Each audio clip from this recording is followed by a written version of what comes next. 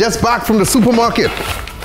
This right here is the $25 orange jungle juice, okay? All you see here, 25 bucks. We even got fruits, okay? But Sky, we don't believe you, homeboy. Look, look right there, okay? $24.11, okay? You can need some oranges in this bad boy. Let's wash these off, only because you're looking. Take my top off. I mean, I should do this with my top off. It. You think I should take my top off? You think we get more views if I was shirtless?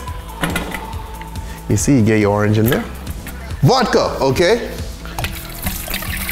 Come on! Tornado, tipsy style. Rum.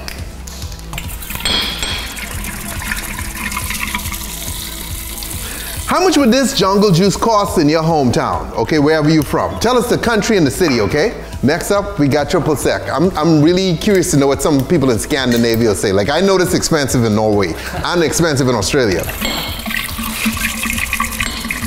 Oh yeah, look at a tornado. Now this right here is Tampico Mango Punch, okay? I can almost guarantee no mango in this. You know what I mean? That's why this was so cheap. Oh yeah. Well, guess what, guys? Technically, you could have gone even cheaper. Because I left something behind. I could have just ended it with that, right? But I wanted to get a little Cactus Cooler in there. Oh yeah. That's what I'm talking about, homeboy. That's what I'm talking about.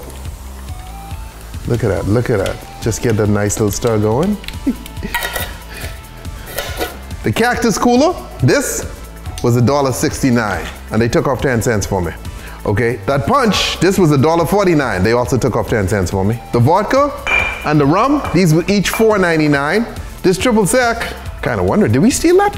Uh, oh, this was like $3.89 or something. Jesus, this was $3.89. The oranges were $1.98, nearly $2. The oranges almost cost as much as the booze. And there you have it. The $25 orange jungle juice. Good to go, okay? I'm trying to straighten it. This was all bent up. Look at this. Huh? You think you want me to sit? Huh? Huh? Black man can't fix stuff MacGyver style? Yeah, come with a side of Corona, but hey, who doesn't have that these days? Anyway, drink responsibly, don't drink and drive, stay tipsy. My lips are clean, I promise you, I think.